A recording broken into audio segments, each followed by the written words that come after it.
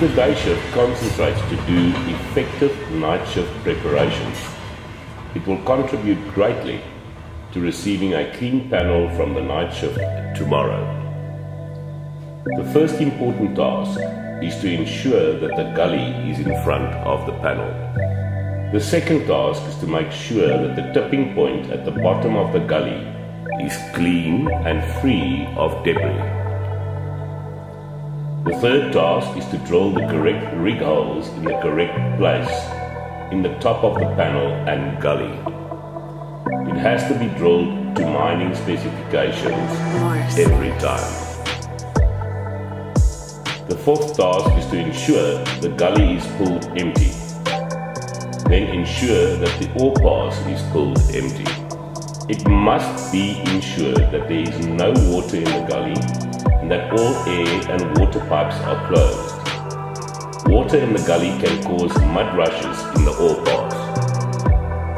If there is water in the gully, the transport people pulling the box must be warned of a possible mud rush occurrence. The fifth task is to ensure that the grizzly is open and free of obstruction and in good condition. The sixth task is to ensure that the winches are in good working order. Then check that the snatch blocks are in good working order. The seventh task is to make sure that the sling eye bolts, the scraper and the scraper rope is in good working order.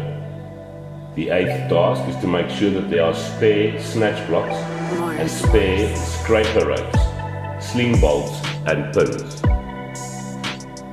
The ninth task is to ensure that a chisel and hammer is in place in the winch cabin.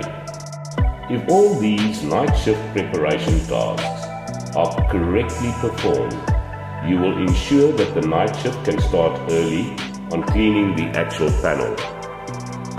They will not need to waste time on preparing to clean the panel.